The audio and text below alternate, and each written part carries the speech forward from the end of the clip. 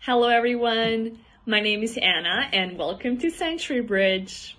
I have a master's degree in English and American Literature, and currently I am a PhD candidate in American Literature as well.